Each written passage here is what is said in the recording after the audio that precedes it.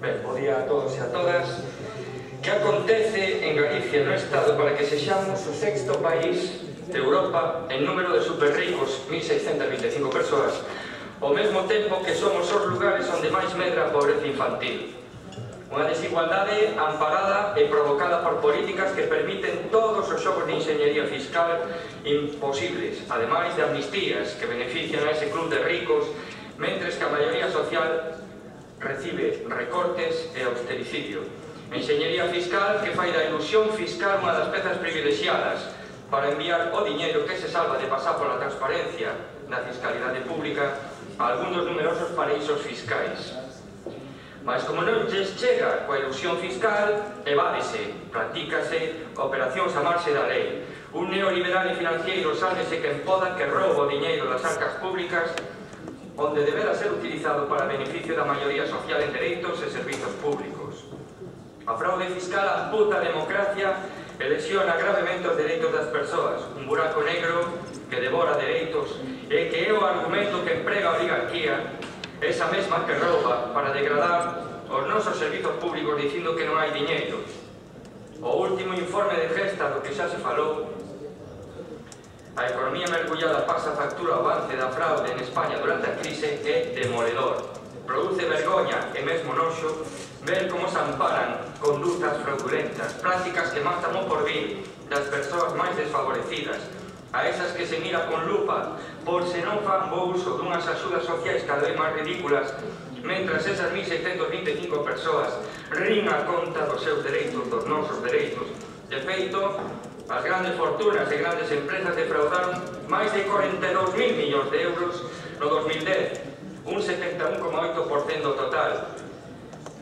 O 63% da ciudadanía considera que a fraude afecta a súa vida. O 66,9% pensa que o goberno fai pouco, moi pouco para tallar a fraude. O 95% cree que a corrupción está xeralizada. Concordamos coa análise que realiza Gesta. Son catro os pilares que sustentan o edificio da fraude fiscal e da economía mergullada. Ainda vivimos as consecuencias do boom inmobiliario. Existe un paro desorbitado e a canto máis paro, máis economía mergullada.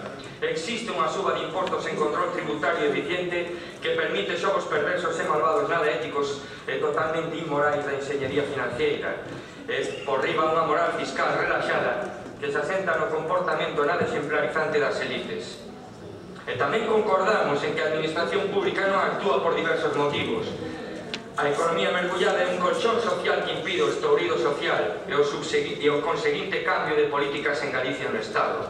E ademais, porque vostedes prefiren continuar co marketing de cifras e dar como grandes resultados os feitos parciais de cada ano sen que se trate unha estrategia global, Gesta propón como medida necesaria que se coñeza a verdadeira dimensión da fraude a través de estudos oficiais.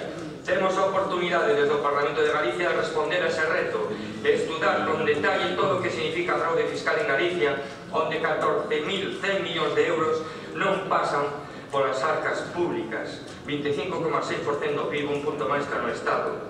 Sexamos quen de ser vanguarda aquí actuar con ética e transparencia, constituamos esa comisión de estudo e conduzamos os traballos cara un dictame que implica o Executivo.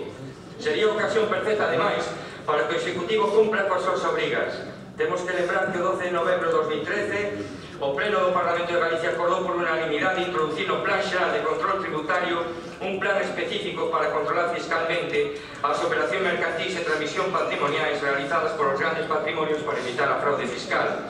Pois ben, no DOGA deste maio que daba conta da resolución do 16 de maio, a Dirección da Agencia Tributaria de Galicia emite os criterios xerais do Plan Xeral de Control Tributario 2014. Nel non se inclúe o mandatado polo Pleno do Parlamento, onde reside a soberanía do povo para legislar. Por tanto, desde a que denunciamos este feito e pedimos que se rectifique xa.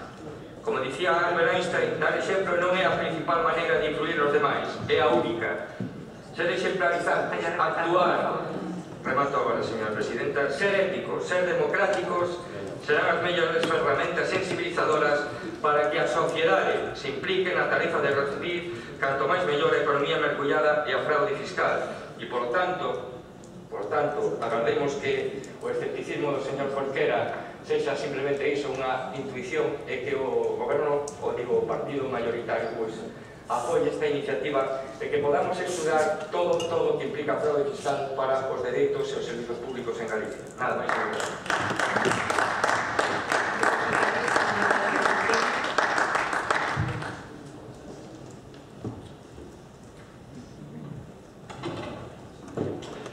Grazas, Presidenta. Primeiro, quero facer referencia á petición que fai o BNA de a proposición non de lei. É o que está a pedir